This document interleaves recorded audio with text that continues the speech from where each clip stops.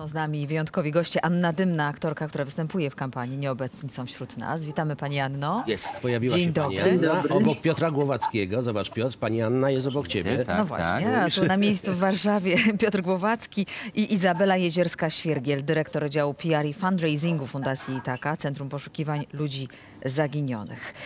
No właśnie, te listy czytacie wy, aktorzy, Anna Dymna, Piotr Głowacki. Em, są to niezwykle emocjonalne listy. To jest właśnie fragment listu, który ty, Piotrze, czytałeś. Tak, ja, ja bardzo się cieszę, tak spotkaliśmy się tutaj y, jeszcze przed programem, rozmawialiśmy, że bardzo się cieszę, że nasz serial okazuje się też szansą do tego, żeby powiedzieć coś więcej, nie tylko w, że to działa w dwie strony, że mm, cieszę się, że potencjalna popularność naszego projektu może zwrócić uwagę na problemy o- zaginięć i w drugą stronę, że to nasze zaangażowanie też może pokazać, że ten nasz, nasz serial jest... Podchodziliśmy do niego w nim poważnie do wielu rzeczy, a nie jest tylko taką zwykłą rozrywką, Rozrywką, czy kryminalną. Tak, bo- Podchodziliście poważnie, bo już mieliście świadomość, w czym bierzecie udział, prawda? Znaczy, Że tematem w ogóle naszym jest, jest też, nie było sama kryminalna zagadka czyjegoś zaginięcia i jego odnalezienia, tylko to, co się wokół zaginięcia dzieje, czyli ten, y, relacja rodziny do zaginięcia, to czy osoba zaginiona chce być szukana, czy nie chce Tak być jest. szukana.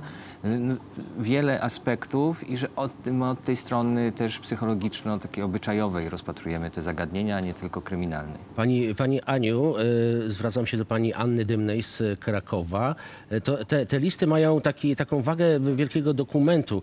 E, s- są autentyczne. Niektóre z nich powstawały wiele, wiele tygodni. To chyba jest dosyć trudna rola albo kreacja. Prawdę mówiąc, y, ja specjalnie nie byłam przygotowana do czytania tych listów,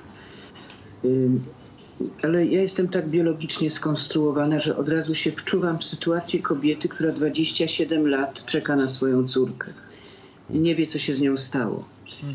Ja nie, prawdę mówiąc, nie umiem sobie tego wyobrazić, bo umiem sobie wyobrazić odejścia ostateczne, bo je znam, Natomiast ja nie wiem, jak się czuje matka, która wie o tym, że prawdopodobnie ta córka jest. Wtedy to słowo nadzieja y, troszeczkę zmienia na, y, znaczenie. Trochę jest tak, jakbym musiała żyć, teraz się patrzę przez okno, jest mgła i ponuro, że wtedy życie by było takie we mgle i ciągle by się czekało na to słońce. I to, i to, to musi być przerażające uczucie. Dlatego jak przeczytałam ten list, wzięłam o, tej tinie swojej, jak idą święta Bożego Narodzenia, a ona patrzy się na jej zdjęcie, jak chodzi do jej pokoiku, który jest taki sam i tam leżą jej misie, to wiecie co, że to trudno było nawet czytać. I to bardzo, ja nie wiedziałam, że ja będę brała udział w tej kampanii. Ja grałam w filmie, ale pomyślałam sobie, że najpiękniejsze jest to, że my, kreu- kreując jakieś postacie w filmach i uprawiając nasz zawód, możemy naprawdę ludziom pomagać. To jest najpiękniejsze w tym zawodzie, więc się bardzo cieszę. Tak, ta pomoc jest y, realna, rzeczywista i to piękne, co pani powiedziała o świętach, pani Anno, bo rzeczywiście w wielu polskich domach, zbyt wielu, to puste miejsce sto, przy stole czeka nie tylko w Wigilię, tylko rzeczywiście te rodziny czekają. I tu się zwrócę do pani Izabeli. Jak wiele osób w Polsce ma status osób poszukiwanych, zaginionych? Em, około 18 tysięcy osób ginie w ciągu roku. To jest taka średnia z 10 lat. E, te liczby zmieniają się w zależności od, od roku, powiedziałabym. Natomiast e, to nie jest tak, że ilość tych zaginięć maleje. W tej chwili jest około 4 tysięcy osób długotrwale zaginionych, czyli takich, które nie wróciły przez lata. Są wśród nich także te osoby, do których listy e, dzisiaj czy w kolejnych dniach będą em, emitowane i czytane. E, Pani Anna Dymna powiedziała tutaj o tej nadziei.